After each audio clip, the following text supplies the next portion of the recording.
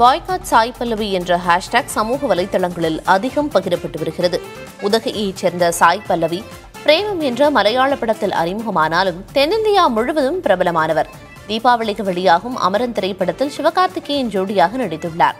நிதேஷ் திவாரி இயக்கும் ராமாகணா திரைப்படத்தில் சீதையாக நடிப்பதன் மூலம் பாலிவுட்டிலும் அறிமுகமாகிறார். இந்நிலையில் சாய் பல்லவியின் திரைப்படங்களை நிராகரிக்குமாறு பாய்காட் சாய் பல்லவி என்ற ஹேஷ்டேக்கை வலதுசாரி ஆதரவாளர்கள் அகிந்த அதிகம் பகிர்ந்து வருகின்றனர்.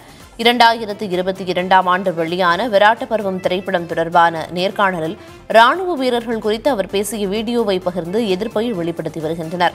பாகிஸ்தானியர்களின் பார்வையில் இந்திய ராணுவத்தினர் தீவிரவாதிகளாக தோன்றலாம் என்பதே அந்த வீடியோவின் சாராம்சம்.